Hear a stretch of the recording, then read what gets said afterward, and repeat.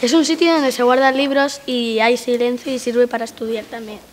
Y tienes que tener un ticket y, el carnet y tiene que tener los números del DNI y al entrar puedes, se lo enseñas a la señora que está allí, te dice, vale, eres del club y puedes ponerte a leer los libros que están allí. Y si no sabes eh, dónde, en una sección dónde está el libro que tú quieres encontrar, pues lo puedes mirar en internet o preguntárselo a la, bibli- a la bibliotecaria.